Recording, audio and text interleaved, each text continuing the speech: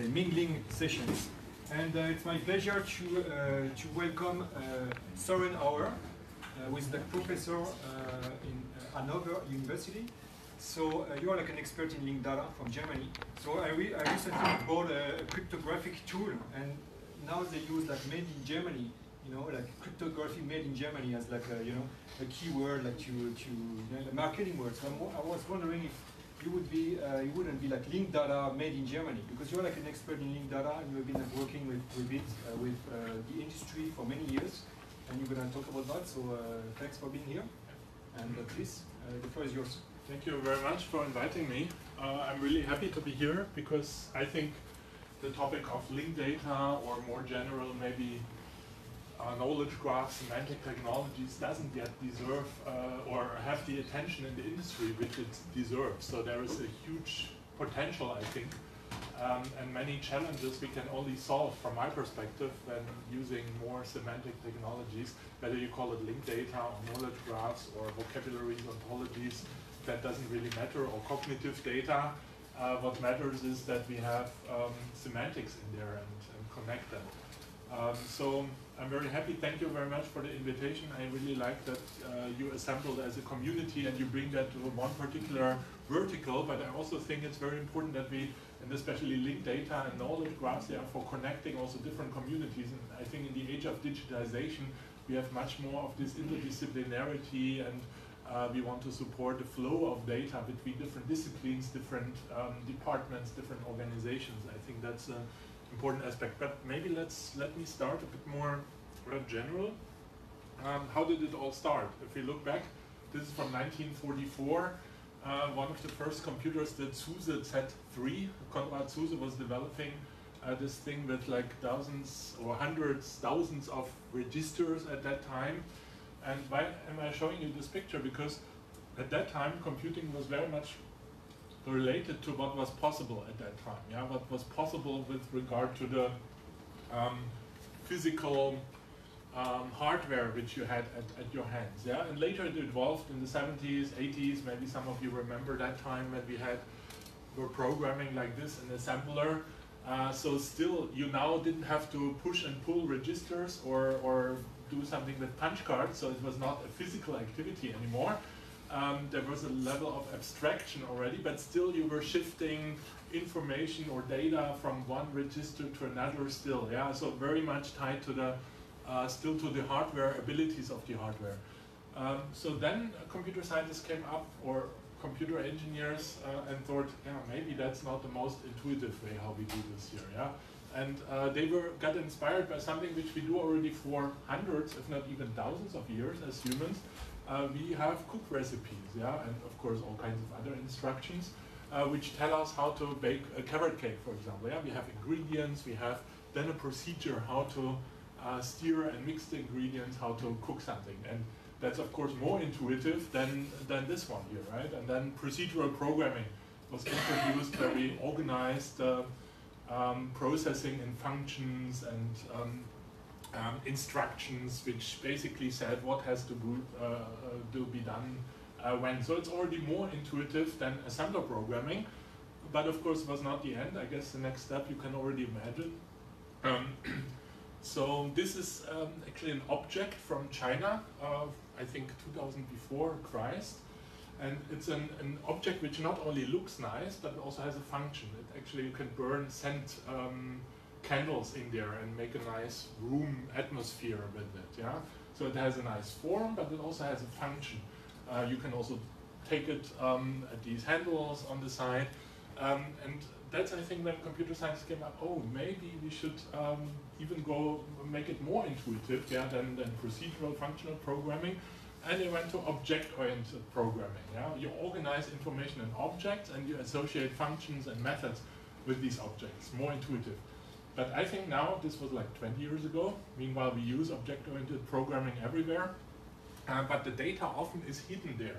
Yeah, it's hidden in some databases, encapsulated in some um, um, objects, and I think we have to reveal also the data and the information, the semantics more out and, and make it a first-class citizen of, of software development, which is currently not, not yet that much, in order to uh, maybe even we make it more intuitive and more as we um, digest information as humans. Yeah, if you think further in the way of um, computing becoming more intuitive, the most intuitive way is how, how we do this, and that's conceptual processing. Of course, not completely clear how it's done in our brains, but uh, probably it's done a bit differently than, than what object-oriented programming. Um, and it also might help us then maybe to transfer information and knowledge between brains, how, how, how we do that, yeah? Um, so I think we need to go this uh, next step. And of course, it's also related to general developments like uh, big data, machine learning are big topics. Um, why are these big topics? I actually uh, don't think that uh, machine learning um, did a big, big breakthrough in the last years. Machine learning is pretty much the same as it was 20 years there were incremental improvements, uh, but what changed is the computing power. We can now uh, process actually sizable amounts of data, and we have the data. 20, 30 years ago, there was no data to do machine learning or only toy data. Now we really have the data, and that's what this slide shows. Actually, the algorithms, they were proposed long ago already, um, and once the data set became available, then a few years later, actually, you had a breakthrough in artificial intelligence because you could combine the algorithms with the data sets and then, uh, for example, do speech recognition, or you could uh, win in chess uh, after you had digitized 7,000 chess games and learn from those chess games. Uh, IBM Watson could uh, answer Jeopardy questions only after we came up with um, Wikipedia, for example, and many other wiki projects. Also, DBpedia played a role there in, in order to answer that, and knowledge graphs, and so on and so forth. So I think the availability of data is, is um, very important. And for this, of course, linked data, and that's what we are working on, um, is, is crucial because I think those use cases where you have the data basically on one big hard disk, they are already exploited. So the use cases in the future for AI and artificial intelligence is where we can, where we have to aggregate data from different sources, heterogeneous data, and, and combine it. So, and that's also like in big data, there are these classical V's like volume, velocity, variety. Of course, there were some more added veracity, for example, value. Um, but I think even in those uh, initial classical three, uh, there was not so much attention yet on variety. And I think that's exactly what we focus on with linked data to tackle this variety, to integrate data from different sources, uh, in different modalities, in different governance structures, and uh, different data structures, um, and make it more accessible. And I don't have to explain you how linked data works, you all know that, you use it. Um, so the key is to identify things uniquely and then uh, return such a, a, description in RDF format.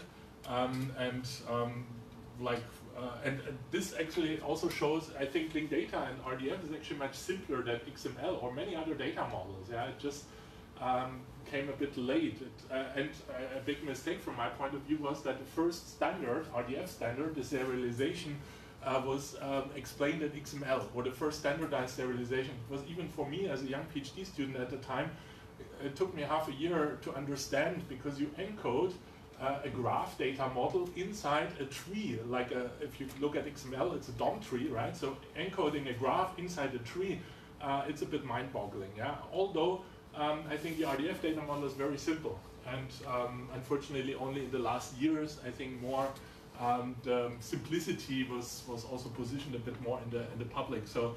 And I think it's also a very intuitive way of organizing information because that's how we how we speak, right? We speak in sentences consisting of subject, predicate, and object, and we can convey very complicated information using speech or using text, for example, and I think that's uh, what RDF also does, and we can, of course, attach more information to the object of the first sentence and use it as a subject for the next sentence, and we can start spinning a small knowledge graph, right? Um, Still, we can serialize it in these triples and publish them either on the intranet or on the web, and then easily aggregate triples from different sources. Yeah, so the data integration is already built in in the simple data integration, and I think that's one of the biggest advantages of RDF.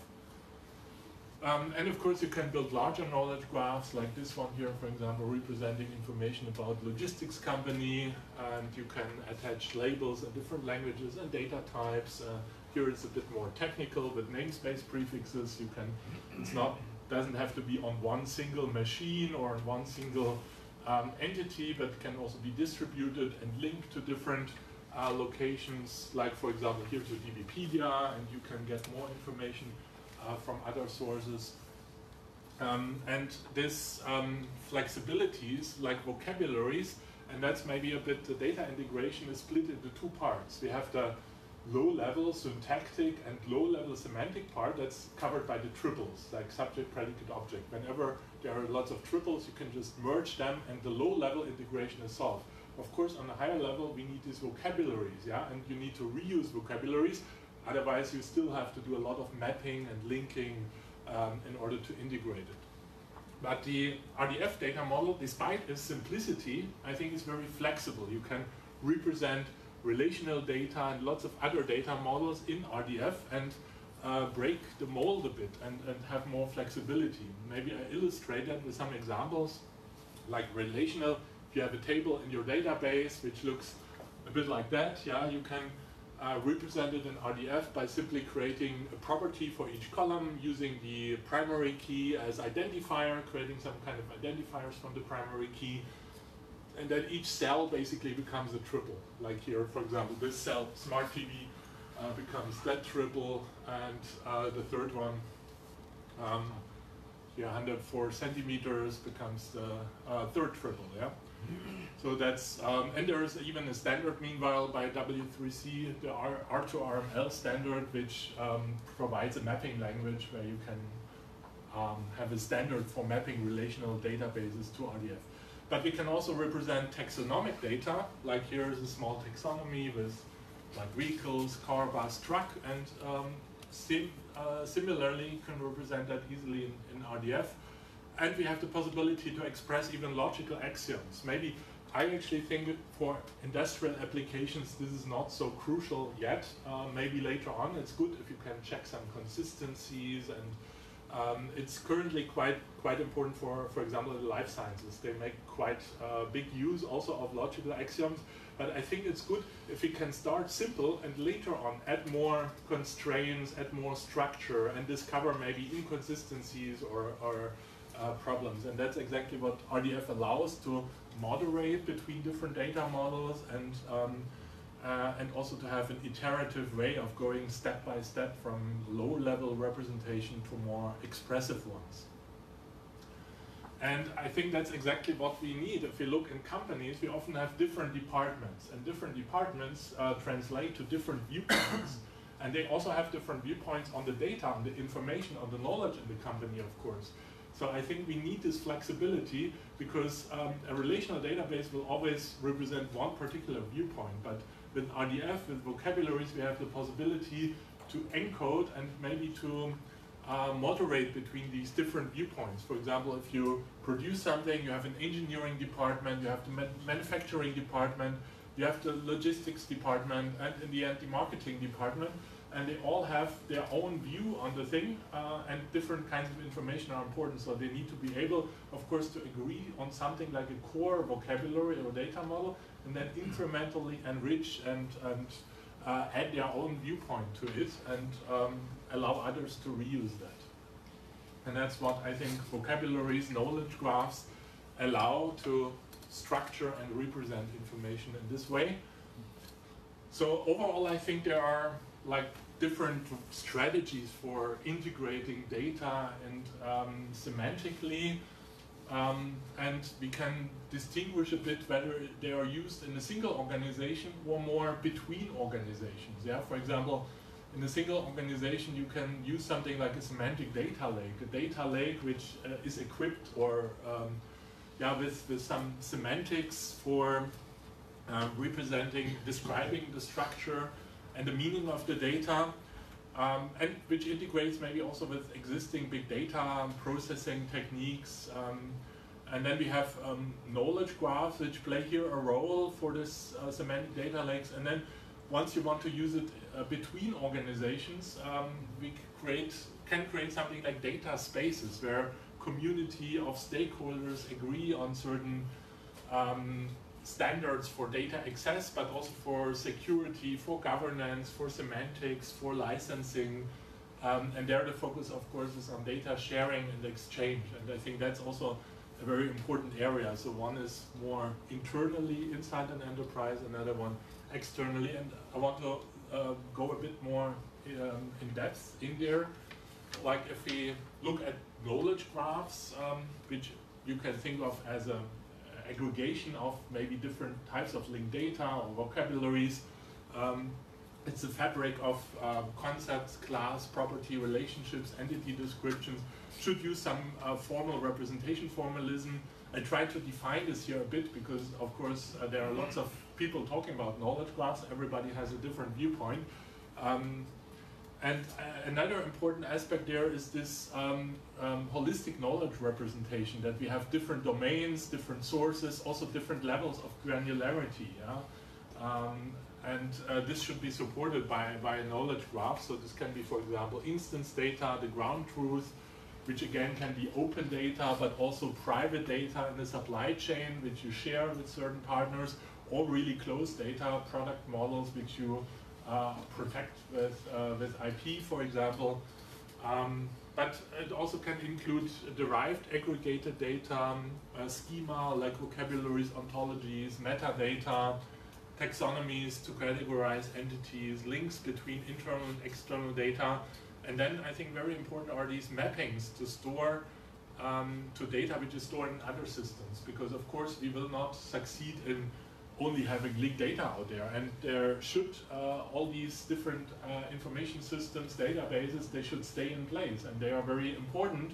Uh, what we need is a bit more glue and uh, we need to expose them to the uh, to linked data and creating, managing these mappings, I think is then another important aspect. Mappings from this um, uh, original data in the productive systems to, to such a knowledge graph. And then we can actually use this knowledge graph also for novel use cases for applications. Um, everybody talks about digitization nowadays, um, but I think there is, um, for digitization, we want to, in a, in a, often people start talking about new use cases. What can I do? Um, and, uh, but I think the difficulty is actually realizing these new use cases.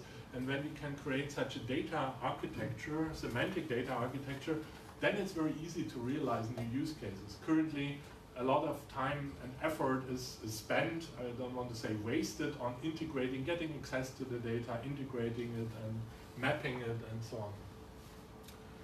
And of course this already happens, there are lots of these knowledge graphs out there, so maybe um, the largest one, uh, meanwhile, uh, Google has, yeah, they built a huge knowledge graph, they acquired Freebase already 10 years ago. Meanwhile, they hired lots of people also from the semantic web community, research community who are working now at Google.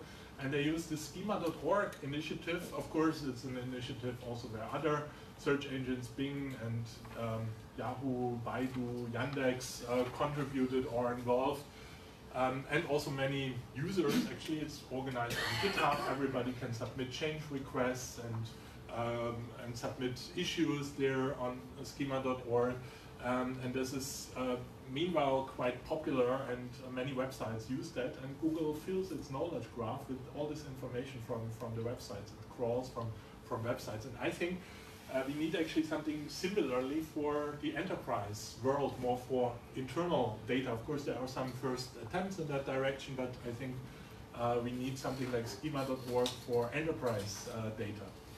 Uh, this focuses, of course, a lot of web and e-commerce and web data. And then we have in the life science a lot of initiatives like Open PHACTS or BioPortal, where they organize, curate data ontologies and semantics for a long time. And in the world of digital libraries, meanwhile, there is also there are a lot of vocabularies. Meanwhile, there is this Europeana initiative in Europe, for example, where thousands of memory institutions, so museums, archives, libraries, are aggregating metadata. You can go to Europeana EU and you can basically search the whole European cultural heritage data space. And I would say this is also a data space where uh, thousands of organizations agreed on the semantics, on a semantic structure, also on licensing. All this metadata is unlicensed under public domain. I think CC zero. So uh, of course it's not it's not the, the digitized artifacts, it's the metadata, but once also with links then to the museums, and then you can retrieve the, the actual or look at the actual artifacts also when they are digital available. So I want to zoom a bit into this semantic data lake idea of integrating um, data, enterprise data. So traditionally, uh, we have here exploding um, costs of data integration. If you want to integrate every data source with every data source in order to create these new applications and maybe in the future create new applications, uh, this doesn't scale. And that's exactly the idea of using such a knowledge graph that you uh, basically map the data sources to vocabularies. You have to do this mapping only once, and then you can reuse the mapping many times and create lots of, of, of new applications there. Yeah, just, just a remark Yeah. uh, about your previous slide.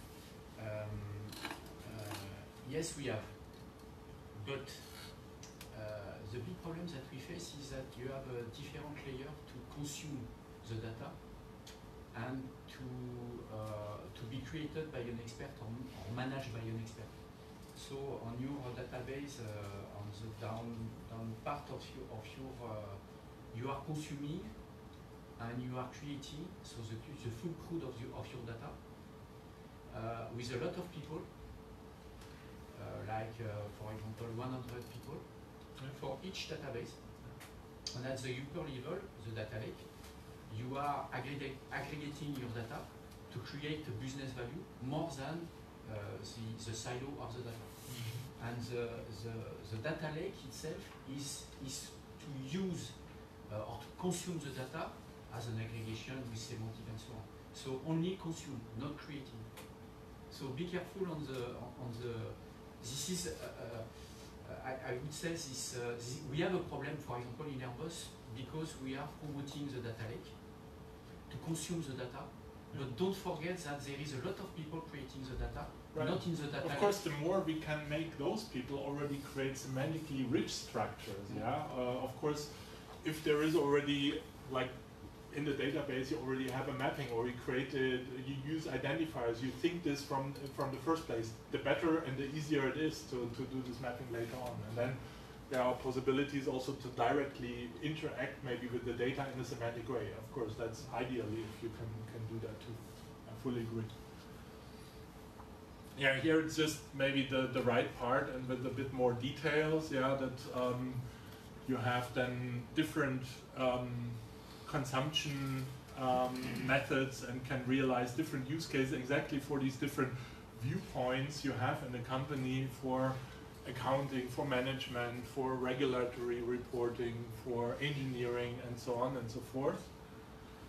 Um, and maybe I want to show you some examples. So this is actually, uh, we already, five, six years ago, uh, we're thinking a lot, we need to bring this more to the enterprise, so we need more um, um, tools, tooling, infrastructure, and we started a spin-off company, it's called eccenca, and uh, which does meanwhile quite a lot of um, projects and activities and um, offers an infrastructure for companies to uh, to create such a knowledge graph and to exploit uh, because um, yeah this potential of, of semantic data integration.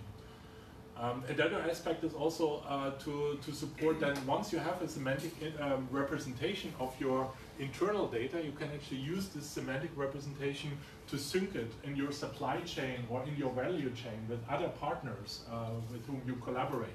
Uh, currently there's EDI, electronic data interchange, mainly used for that, but it's relatively rigid and structured and um, you're not so flexible to add new information and data to it. And, and that's an opportunity which arises to, to use this knowledge graphs also for, and I will come back to that, that's the aim of the industrial data space which we created at, at Fraunhofer. Um, but in order to um, in an enterprise, you need a bit of framework of, of how to organize this semantic integration and what are the different functionalities and uh, um, people need um, uh, tooling for, for that and uh, there are different uh, features which we integrated in this uh, CMEM uh, semantic integration platform, for example, for cataloging data sets and for ingesting of existing data sets. Where you can describe um, the data with a metadata model, um, which also performs some automatic profiling of the data sets, and then integrates it actually with the with such a um, um data lake um, that you can continuously also monitor for new versions and uh, structural changes in your data. Um, you can manage the data sets. You see actually one uh, when changes when uh, when they were created or modified, and um, uh, who is the owner of of the different data sets. Uh, the profiling of the data sets, basically looking into the data and creating an aggregated view. What kind of data types are used there? What properties? Um, Excuse uh, me, sorry. Yeah. Uh, uh, just something on the slide before I didn't I didn't understand. Uh, Sure. Is it like uh, what do you do? You you uh, you give some like uh, structured data, whatever the format, to your tool, and you extract automatically some like linked data vocabulary out of it. Is it is it right? Yeah, um, there are some suggestions. I think the quality of doing this completely automatically is relatively low, so there is always some curation. And what we actually want to establish um, more a culture that you maybe, of course, that you have these automatic techniques uh, combined with manual curation of the mappings, um, and that you also don't have to do everything ad hoc. Often large companies, they think, oh, we have here these thousand databases, now we need to start a big project, three years of mapping everything. Um, I think uh, it's much better to, to do this step by step iteratively. You have a certain use case, you create a mapping, and RDF and vocabularies allow you that. Yeah, with XML technologies was not possible. You needed to create a schema, um, and then you needed to stick to this schema. With RDF, it's possible to start with the vocabulary and then to incrementally enrich it and improve it. And that's uh, exactly what, what we try to do, where you have different methods, automatic methods combined with human curation, uh, and step by step enrich uh, your semantic model basically. And then you would use those information models in a kind of integration platform, or Exactly. yeah, okay. And um, then the mapping um, is, a, is another step. So also suggesting we, we integrated, for example, also some machine learning methods to learn from existing usage of the data or from uh, the data types which are found in the columns of a, of a columnar data set, for example, to suggest mappings, uh, to create such a data dictionary, normalize the data, map it to vocabularies, um, uh, to then also uh, calculate similarity or relatedness between data sets to uh, be able to visually explore in some way a part of this knowledge graph which emerges out of these kind of mappings and structure. And finally, also linking. So some of you maybe have uh, recognized there is a famous uh, linking toolkit Silk, which was one of the first linked data linking toolkits developed by Robert Isele.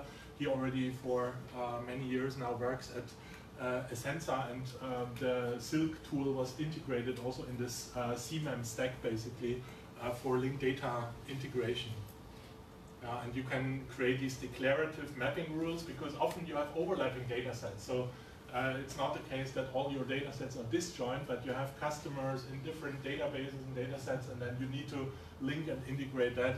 And Silk allows you to learn. For example, there is an active learning um, uh, behind, so you can actually uh, give some examples of links, um, positive and negative examples, and Silk will ask you for, for more feedback on uh, the ruled um, linking rules, and you can also, of course, refine them uh, manually, but often already five or ten of these feedback cycles are sufficient to have relatively high precision in data linking. Of course, it depends a lot on the data quality, but if you have well-curated data, uh, then it's relatively uh, straightforward.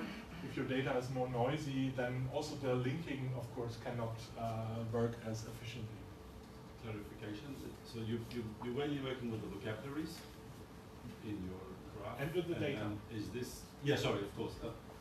Uh, do you use any like OWL or that kind of uh, semantic? Sure, you can use everything, RDF, RDF schema, Yeah. OWL, and then domain-specific vocabularies, yeah? Mm. So to create uh, the mappings from your original data to these domain-specific or, or generic uh, data models, and then to link also the data between different data sources. And what is that then? Is that some? That's the data linking. Of course, it uses already the vocabularies and the ontologies you have. For example, Yeah. you have you have properties um, like the name of a customer, for example, would be this here, and then you combine and apply some string metrics like Jaro-Winkler here. So, and how do you declare these rules? Is it its own? It's a because then it's not part of the vocabulary, right? Is it just another technology? Uh, Uh, you can draw them on this canvas here. Uh, you can just drag and drop the boxes, or you can do this learning. That's what I initially uh, like try to explain. You you select two data sources you, which you want to link, and then um, Silk in the background looks uh, which data entries look similar, and then it asks you, is this the same as that one? And you click yes or no, and in the end it comes up with exactly something like this. So if you are too lazy, or I don't know, to um, if that's too cumbersome for you, you can just answer some questions and so it will come learn a rule, a linking rule, and then you can apply it on your whole data. Yeah. Of As course, part of it the- is the trained on some examples. Yes, and, and just like another question I had, like so you, you do this uh, process, learning process and manual process as well for setting the links, and then you push this information model in production, so it's being used by your uh, integration platform. But then the information model itself uh, might also evolve over time. So can you also like uh, push some uh, updates, you know, some diffs of your information model and the links into the integration platform again? Is it like something a bit, something dynamic that you do? Yeah, yeah. It's Mm. very, um, of course, dynamic, uh, but there are many, um, many questions which have to be solved a bit to the to the company. For example, we had companies they had a certain council which wanted to agree or Yeah. create certified, uh, agreed on versions of the vocabulary. Yeah, and but Mm. uh, you can use, uh, for example, also some versioning like Git in the background for the Mm. vocabularies, and you can have different branches for your development version of the vocabularies of the mapping rules. Mm. Then at certain times you can have certain um, agreed upon um, versions and which are then released and, and used in widely more widely in the company. But that depends a bit on the governance structure and what existing. Often there is, for example, master data management department or other departments which already have a bit a similar role in the company and uh, they already have established procedures and that needs to be uh, taken into account. You have a question? Yes, thank you. Um, but do I understand correctly, this Silk Workbench would also only allow for read-only um, approach, so basically uh, it would not provide a linked data interface to uh, all the applications from where information was extracted in the first place. That's um, right. We like there are of course also approaches to, to accomplish that using, for example, APIs, but it depends a bit. You cannot generically or, or in a fully agnostic way say how the data should be updated. But one uh, direction is uh, using some some REST mechanism, or of course also the the solid um, uh, approach of of read and writing uh, stuff using or API. Some companies have already an API infrastructure in place for for that, um, but that's definitely. Uh, of course, what also comes with it is a, is a triple store. You can always also store something in your triple store, and then you can use, of course, all the operations, uh, SPARQL update, and whatever um, is possible there. Okay, so this was um, a bit um, a brief overview of uh, how such an infrastructure could, could look like or how we are currently already deploying it in different scenarios. Another aspect is this um, intra-organizational data exchange and uh, there uh, we started at Fraunhofer an initiative called Industrial Data Space. Actually now it's called International Data Spaces. So um, because uh, the initial focus on industrial got a bit more broadened. And uh, the idea is there also, of course, to support use cases um, of digitization where you use uh, need data from an ecosystem which is not under a single control. Like, uh, for example, for precision farming, you need weather data from a weather service. You need data from your equipment manufacturer, from um, the farming equipment, from seed providers, from the farmers, from wholesalers, from technology providers. So this is a whole ecosystem. Um, and uh, you need mechanisms to exchange that. Of course, the traditional answer to that is let's create a big cloud and store everything into a single cloud. And some companies are quite successful. We see that in the consumer space, that there are two, three dominant players. And one danger, of course, is that uh, we in Europe get a bit dependent on these uh, global players. And uh, we wanted to um, develop um, an, another model which allows a more distributed and decentralized data sharing approach um, based on several principles like decentralizing sovereignty over your data. You decide with whom you want to share something, uh, common governance rules, ecosystem, uh, some kind of openness or neutral vendor neutral access to the data. And here is a blueprint of this original architecture of the industrial data space. Um, I'm not very actively now working on the industrial data space anymore, but my colleagues at Fraunhofer are continuing this and with quite some drive as well. Um, the idea is really that as you have a, have a website, every company nowadays has a website, uh, you have a data space connector which allows you to connect and um, share some data you have with other trusted parties, yeah, which can be also cloud providers, but also individual other companies. And of course you have some kind of vocabularies and maybe some apps. These apps can be mappings from typical uh, information systems or vocabularies um, from data. Sorry, is the connector uh, meant to be a web API or Exactly. Okay. yeah. And it also follows, for example, REST and um, Okay. um, many of these modern standards. Actually, what I showed you before, the, the eccenca link data platform, CMEM, um, is uh, also compatible with the industrial data space, but it's not yet, it's still a bit in the process. It's not yet a fully standardized um, um, or, or portfolio of standards, but it's still a bit in, in, the, in the process of being um, yeah, also in parallel to this architecture, there are some use cases which are developed, and uh, the idea is uh, especially also to, to support um, the, the exchange of data between different industries and different verticals, yeah, and not only focusing on one vertical. Because there, of course, we had already a lot of data integration initiatives which focused on particularly one vertical. And yeah, and that also hopefully can create maybe a bit a data layer. So you not only have a data layer inside your company, uh, but you have a data layer between companies for exchanging data between different companies to bridge between those Internet of Things on the low level and these high level smart services or digitized applications. And I think uh, we need more attention, especially on this data governance layer to exchange data between companies. Okay, since I don't have time, maybe just a few screenshots of this cultural heritage data space. You can go to Europeana EU or in Germany to ddb.de and you have a search interface and um, you can search in this metadata and uh, for example if you search for Goethe you can do some faceted browsing and search for objects in the city you're currently located. And then if you are a Goethe aficionado then uh, go exactly to the museums or archives where they have some interesting objects. And I think it uses uh, this industrial uh, uses similar ideas like and, uh, data it's also a data space and I think it's a bit a pattern which we can discover and I think there will be more of these data spaces hopefully in the future coming up. Yeah so conclusion we need I think um, for AI for realizing the promises of AI and digitization we need uh, these um, cognitive data and maybe also hybrid AI. Often actually in AI projects, 70% of the effort is data integration and uh, description of the data. And this uh, semantic approach can help there uh, to realize a lot of new um, possibilities.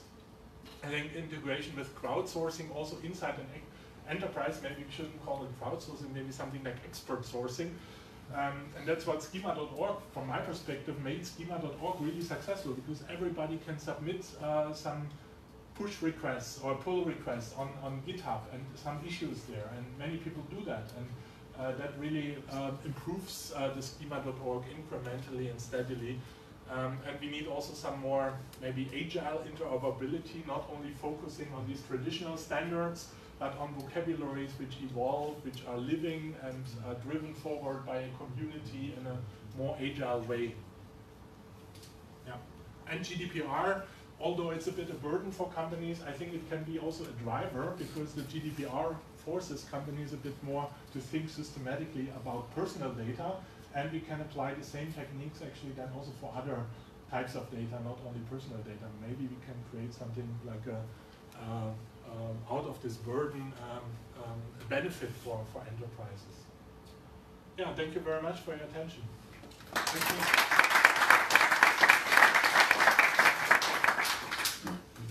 Uh, yes, uh, thanks uh, Soeren. Uh, since we are like running a bit out of time, I think uh, John always wants to. But yes, but uh, but Soeren. Uh, I will be here all day, so. And you like you will be attending the panel discussion right now. Yeah. So I will bring a chair, a special chair for you, and uh, and maybe John will have a, a new opportunity for, for questions.